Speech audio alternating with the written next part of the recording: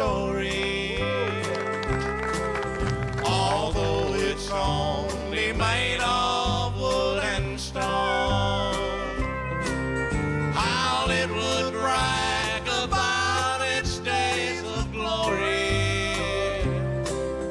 when it almost became a happy home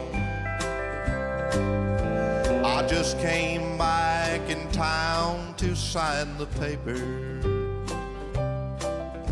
The house is sold now, it's no longer mine. And since the place I built for you once meant so much to me, thought I'd drop by and see it one more time. Parked the car, got out, and looked it over. The unkept lawn now seems so strange to me.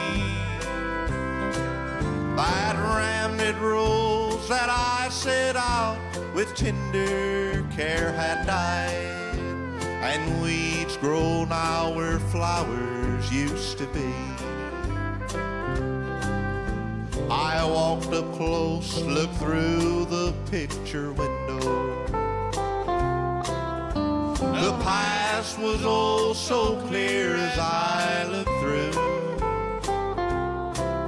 I listened close and almost heard those tender words of love as I sat by the fireside with you. If this